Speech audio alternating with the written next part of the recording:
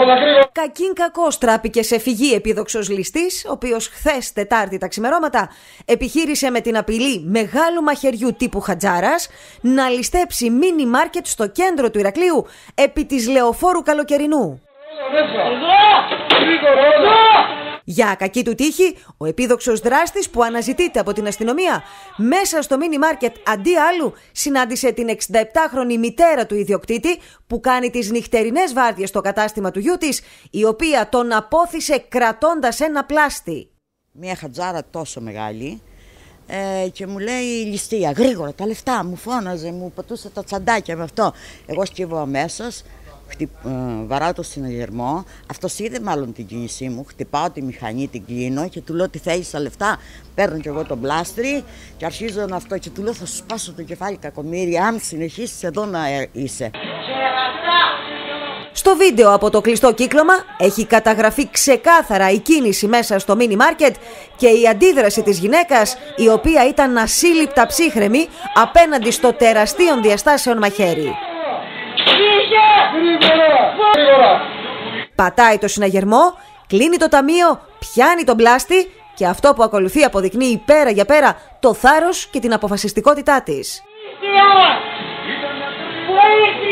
Δεν φοβηθήκατε κυρία Μαρία. Όχι, δεν φοβήθηκα, γιατί υπερασπιζόμουν τον κόπο μου, τον κόπο του παιδιού μου, Κρατούσε μαχαίρι όμως και μεγάλο όπως είπατε. δεν φοβήθηκα καθόλου. Αυτή συνηθίσει κάτι τέτοια, δουλεύει όλη νύχτα, ε, δεν κολώνει με τίποτα. Η κυρία Μαρία είναι νίντζα. Εμένα 5 ώρα το πρωί χτύπησε το κινητό μου.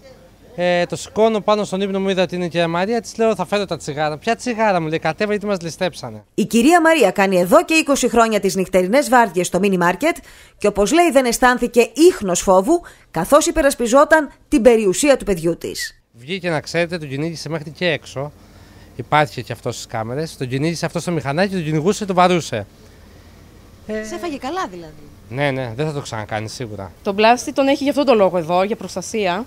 Γιατί της έχει ξανασυμβεί; Έχει ξανασυμβεί άλλες δύο-τρεις φορές, νομίζω. Κάποιο σκηνικό παλιότερα βέβαια. Καλύτερο σύμμαχο από το θάρρος της και αυτόν εδώ ακριβώς τον πλάστη δεν θα μπορούσε να έχει η κυρία Μαρία, η οποία έχει χρειαστεί στο παρελθόν να αντιμετωπίσει κι άλλους επίδοξους ληστές. Πριν από μερικά χρόνια και πάλι με μαχαίρι άγνωστος είχε εισέλθει στο κατάστημα και την είχε απειλήσει αλλά κι αυτός είχε φύγει κακήν κακός υπό το φόβο του μπλάστη. Ε, πολλά περιστατικά πάλι με μαχαίρια ε, και με ξύλα και δεν ξέρω τι και δυο και ένα άτομο κυρίως αλλά και δύο άτομα έχουν αιτήσει να έρθουν.